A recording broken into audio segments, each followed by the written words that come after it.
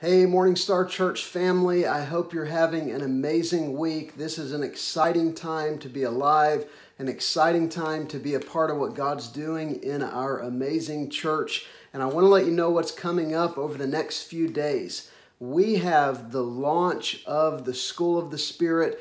Uh, we've been on break since our school has been on break for the summer, of course.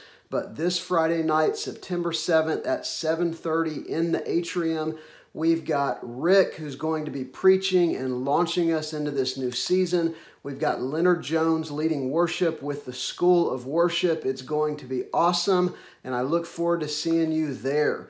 Then on Saturday morning, we have a uh, evangelist fellowship or an outreach fellowship breakfast. This is anyone who is interested in being a part of impacting Fort Mill. Uh, we've got a number of things going on where we're reaching out to the community. We're doing everything from servant evangelism, prophetic and healing evangelism. We're partnering with other churches to do all kinds of things to share the gospel for the rest of this year. So if you have any inkling to be a part of outreach in Fort Mill and the Charlotte area, be there. Uh, this is Saturday morning. We'll put all of the details with the email and with the post. Uh, of course, just come one, come all. Uh, our outreach pastor, Zach Rowe, will be there sharing some things as well as some other leaders that are making an impact. So you want to be there for this. It's going to be awesome.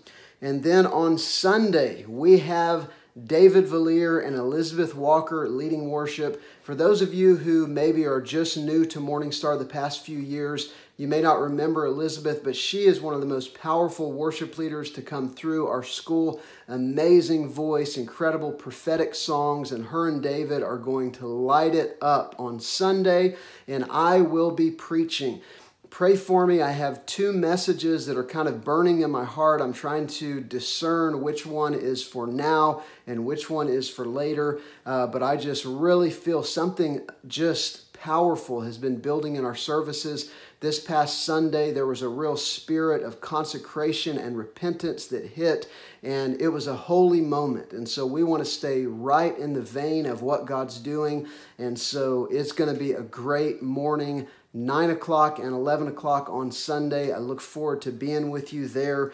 And then finally, I want to keep reminding everyone September 20th through the 22nd is our Empowered Conference. This is a, a three day event, very interactive. It'll be a smaller group, so there's going to be a lot of interaction even with the speakers and with one another. It's going to be Larry Kreider, Rick Joyner, Dave Yarnes, myself, Ron Phillips, Randy Watson, Tom Hardiman. It's going to be awesome. And this is going to be a time to equip anyone called to leadership.